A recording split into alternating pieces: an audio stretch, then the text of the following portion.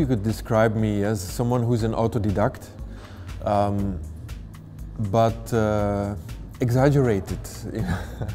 I, I, uh, I don't content myself with uh, learning the craft. I try to experiment with it. And I started very early as a draftsman and as a painter. Basically, when I was 22, 23, I was fed up with, uh, or I was at the end of a journey. And to work with time, with duration, became a real liberation for me. And since then, I've always said that I sculpt in time. I'm a sculptor, and my matter is duration.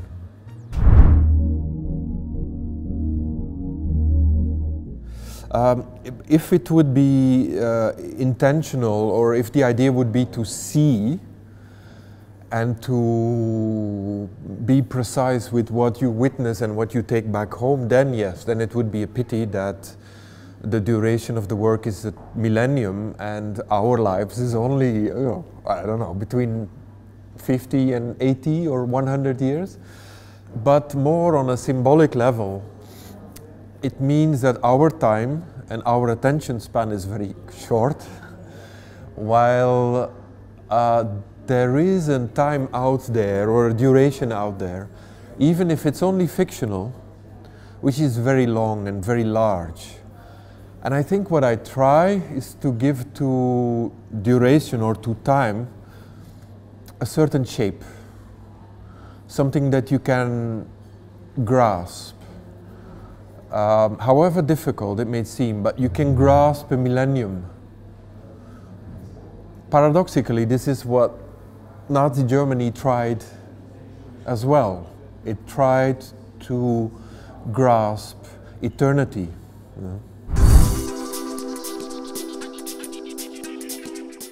Well, to, to work with motifs like the Olympic Stadium has been a recurring theme in my work. Um, I will start with something that is over-connotated, that is entirely embedded into, or would seem to be embedded into uh, history of something, in this case the history of Nazi Germany and of modern Europe. And then from there on, from this uh, specific knowledge, from there on, try to take away the specificity of the location and to try to open it up to make it more panoramic. It can be problematic, you know, when you work with something that's so specifically political. But the Olympic Stadium is not that. Uh, when you look at the history of the Olympic Stadium, the Berlin Olympic Stadium, it was actually a project that was pre-Nazi Germany. In fact, one of the bronze um, signs, one of the bronze portraits, this is something few people know, is one of the Jewish founders of the Berlin Olympic Stadium. It's still there and it was always there.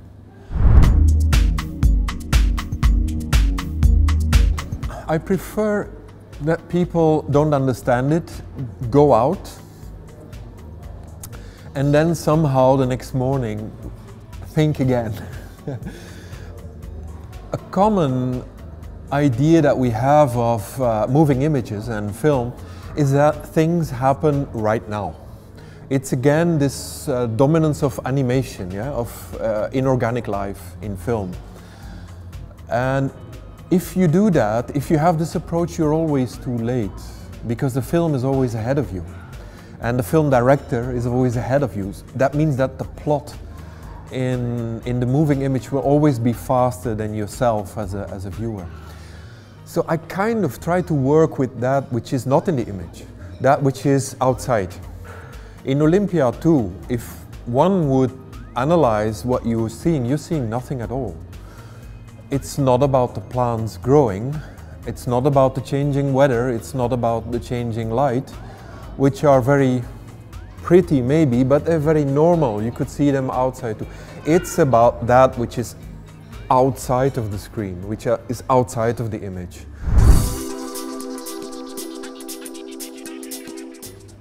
You see, I think what's going on is that uh, I mentioned this belief system or this confidence system, which is based upon the reality of the camera and the people who are watching this believe that I am effectively sitting here speaking to you and to them. Um, and this is a very important vehicle for confidence in the image. Imagine that I was uh, a virtual reality or that I was uh, artificial in intelligence or a hologram. Um, they would be quite, some would be quite horrified, some would, would take pleasure in it. And I think that's uh, an important challenge lying ahead of us is that we are losing the belief system that came from our relation to the camera. By the way, doesn't it also reflect in politics and society of today is that the shrinking back to the national border within the minds of people everywhere in the world is somehow related to a protection reflex is that we want to know that what we see and what we experience is the real.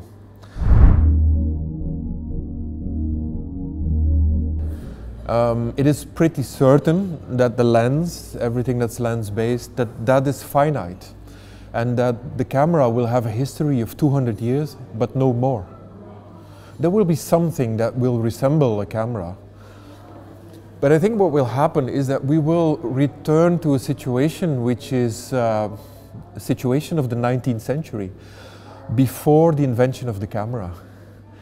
And that we'll go to we'll go back to a certain painting order in the image where we will live with, uh, in our everyday life, with the fabrication, the sense of fabrication in an image. And so we'll have to cope with it. We'll have to say goodbye to uh, the automated image, the image to which we have confidence, which is a belief system uh, of which lasted about 200 years and which coincided with modernity and that we'll have to embrace something else. But what it is, I don't know exactly. But it's interesting in the sense that it is our automated perception will disappear and we will have to think much more about what is the matter that we see in the image. We will have less confidence in it. We will speak much more. We will write much more about images. Perversion. I'm inspired by uh, the relation between us and technology, ourselves and technology. The difference with maybe um, technological positivism is that I don't look at it as an opportunity, as technology in terms of uh, an opportunity. I don't have a very positivistic approach to technology. Rather, I see technology as my enemy.